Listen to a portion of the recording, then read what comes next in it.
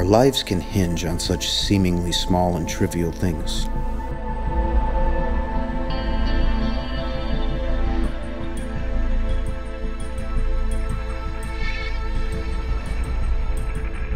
You phoned it tails up, didn't you?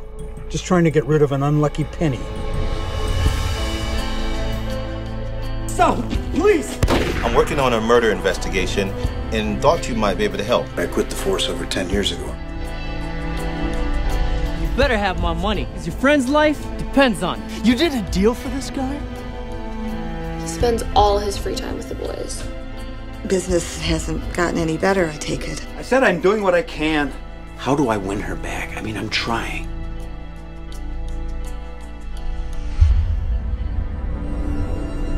I believe there is some purpose in all of this. It's got nothing to do with luck. We make our own destiny. Keep it. There's nothing more to talk about. How much evidence do you need? Someone else must have known about the money. I just wish you'd try and see how I felt. That's impossible. I'm gonna end this thing. What next?